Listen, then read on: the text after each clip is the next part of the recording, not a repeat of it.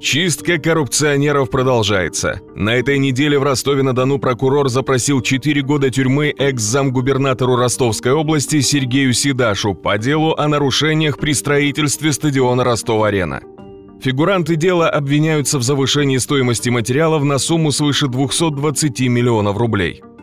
Скорее всего, эта сумма только верхушка коррупционной схемы. Реальный же ущерб может исчисляться и миллиардами. Сколько из этой суммы осело в карманах чиновников и замгубернатора Сидаша, разбирается следствие.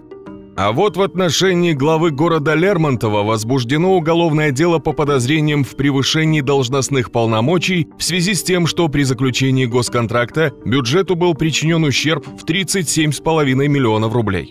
Согласно материалам дела, в 2021 году мэр города заключил контракт с компанией на 129 миллионов рублей, которая должна была заняться рекультивацией полигона твердых коммунальных отходов площадью более 5 гектаров. Однако сотрудники муниципалитета подписывали акты приемки работ, не проверяя по факту, что именно было сделано, насколько качественно и сделано ли вообще. Попались также и руководители ГК «Камская долина». Так, в Прикамье направлено в суд уголовное дело в отношении Андрея Гладикова и Алевтины Романовой, которые управляли группой «Камская долина», некогда самым крупным застройщиком в Прикамье. По версии следствия, они привлекли деньги дольщиков для строительства пяти многоэтажных домов и направили часть средств на другие цели. В результате объекты не были сданы в срок. Вред, причиненный потерпевшим, оценивается почти в 2 миллиарда рублей. Госпожа Романова уже находится в заключении. Ранее суд признал ее виновной в мошенничестве в особо крупном